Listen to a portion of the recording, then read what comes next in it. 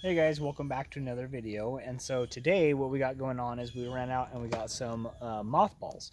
So we have a groundhog that has decided to live underneath our shed and it's eating the our corn and it's eating uh, the leaves of our okra. And so our neighbor said one of the best ways and most effective ways to get rid of them is just throw some mothballs down. They don't like the smell and uh, and so they will vacate the area. So that's what we're gonna do.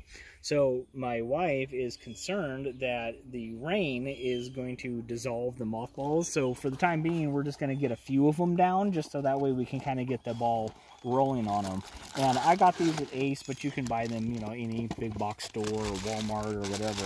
And they're just standard uh, run-of-the-mill mothballs. So I'll just grab one of these packages here.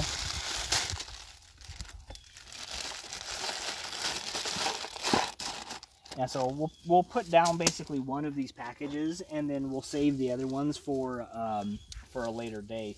And so Oh, it smells. Yeah, that, well that's the smell that they don't like. So what we're going to do is we don't need these to be all throughout the corn. We're just going to get them to where they're more on the edge of uh, That's where the holes he does. where they're where they're coming out. Oh my of. gosh, that smells horrible, man. Yeah, well, Strong. welcome to Mount Mothballs. That's they. So the mothball smell. Um, I mean, there's not really any way to describe it. I mean, I guess it's, It's a kind of a strong menthol.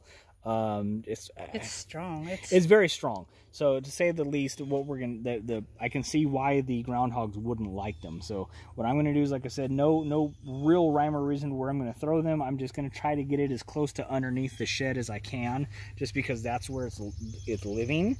So the the you know the closer I can get to those areas, the better. And if it's not perfectly under the shed or perfectly right next to it, I think that's gonna be okay and these things are strong they smell strong enough that I think that um, it's not going to take much to get to get this scene to go.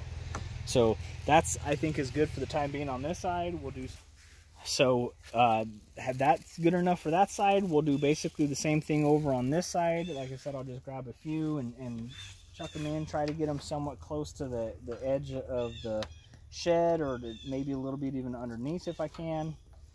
And like I said, I think that will, that'll probably serve the purpose here. And then uh, the last thing I'm going to do is I'm going to go around to the back of the shed and I'm going to get a handful and actually throw them underneath the shed so that way there's a few that are in that area and uh, hopefully that will chase him out of there and, and, we don't have to worry about him or her coming in and, and destroying our crops. So.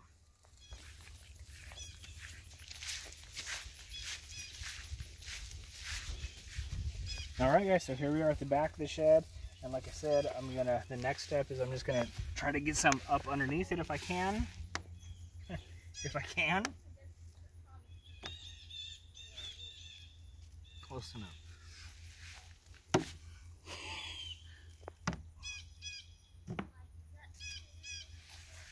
And hopefully what this will do is it'll make it to where they're not gonna want to, um, live there. if they leave, they're not going to want to come back.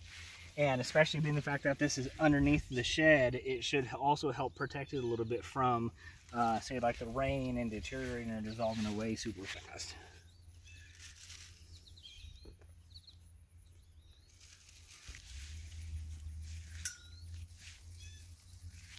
And this right here, this is actually where we saw, uh, we saw him, we saw his head coming out of right underneath this hole. So I'm just gonna see if I can get one kind of back there a little bit, just like that. Throw it in there. I did. So.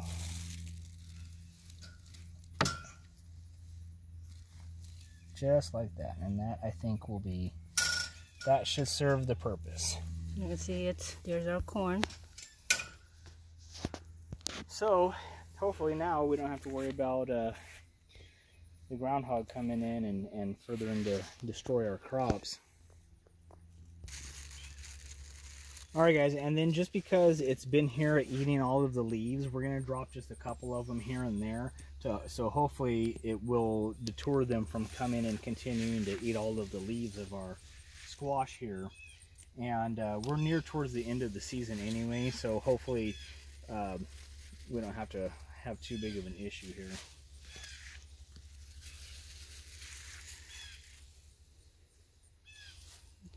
Throw some to the carrot area over there. Poor carrots.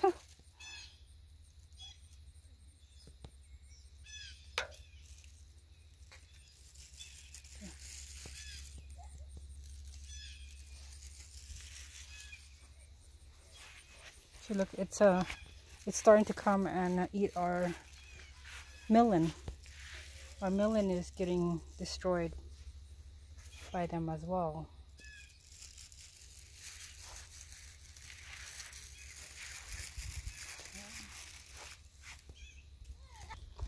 All right, guys. So, like I said, hopefully this works. Um, we're gonna have to keep an eye on on our our greens here to see if something's continuing to munch on them or not. If something is, then we'll have to figure else figure something else out.